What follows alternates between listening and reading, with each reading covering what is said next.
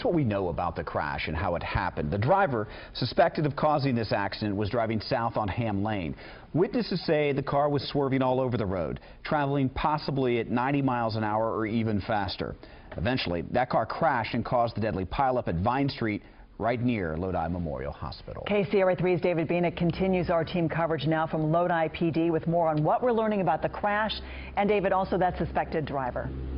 Edie, good evening. Just within the last 20 minutes here at Lodi Police Headquarters, we've learned that the driver that some witnesses say may be responsible for this crash is a 28-year-old man who himself is in critical condition tonight at a local hospital. Police are not yet releasing his name and say at this point he is not considered a suspect. A few hundred feet from the intersection where the crash happened, Joyce Dickoff was in her backyard last night feeding her cats when she heard a vehicle go speeding down Ham Lane. So you didn't see anything, but even from the sound, you could tell. Oh, yes, he was driving fast. That I know. A few seconds later, all the neighbors near Ham and Vine heard several cars slamming into one another. It's just like like taking a car and just, you know, crushing it to death. It was just that bad. Valerie Tingey has cuts on her legs and glass in her feet because she says she ran out to help the victims in the white pickup truck, particularly the one boy who had survived and was lying on the dash. And I told him, don't move.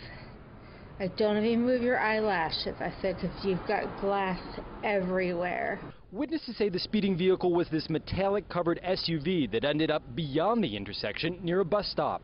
Witnesses also say the man driving that SUV had been swerving around cars and talking on a cell phone. We've heard the same uh, witness, or we've heard the same uh, complaints, and it's something that we're investigating. According to public records, the registered owner of the SUV lives at this house about a mile from the crash site.